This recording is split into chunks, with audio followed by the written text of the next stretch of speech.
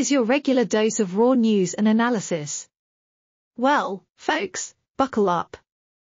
We have a front row seat at the Meghan Markle circus, and let me tell you, it's a spectacle unlike any other. I've always wanted to call it as I see it, and what I'm about to reveal is hotter than the newest rumors we've already discussed. Hello, raw folks. It's good to see you all here again. Hold on tight, my friend, the tale deepened and grew juicier, but stop right there before we reveal the juicy facts. Meghan made a humiliating performance at the Power of Women event, where she brazenly posed in smile for the cameras, oblivious to the eye rolls and exasperation expressions of those surrounding her. Activate the notification and subscribe to the channel. I promise you won't regret waiting for what's coming next. It's a huge but, but no one seemed to be rolling out the carpet for the Duchess of Sussex's triumphant return, despite her grandiose attempts to do so. The true tastemakers are, in reality, insiders in Hollywood. Let me tell you a small story if you didn't think Meghan was all that amazing. Chairwoman Pearlena spills the tea, scolding my pals in the process. Meghan reportedly made an attempt to socialize with celebrities such as Leonardo DiCaprio and Margaret Robbie, but she didn't get a warm reception. Meghan's recent endeavors have been unremarkable, but here's the real kicker, the pièce de résistance of the Hollywood drama. You know, in Hollywood, you're only as good as your previous big show.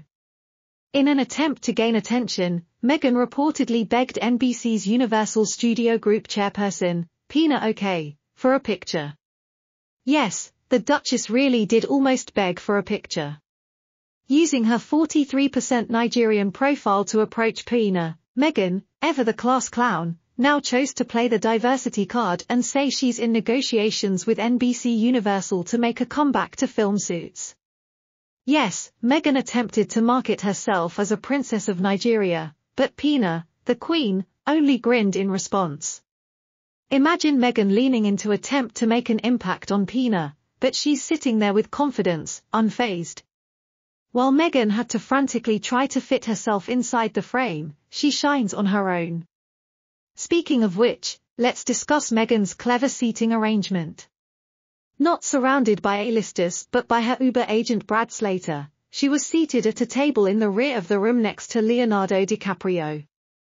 Oh Brad, the one who brought Meghan along as his date. Oh my goodness, Meghan, you're not at the A-list table, and let's not overlook the public relations ploys involved. For years, publicists have used these ploys to start rumors, build buzz, and give the impression that you're hanging out with the bigwigs. According to Hollywood PR guru Mark Borkowski, Meghan's presence was nothing more than a well-thought-out ploy to start rumors. Before I depart, isn't Meghan's speciality in stirring up controversy and riding the wave of attention? If you're going to start talk, you have to start the rumors in the gossip section of the media and social media. I'm interested in hearing your opinions. Tell us in the comments below, and we'll talk to you again soon. Royal updates and evaluations.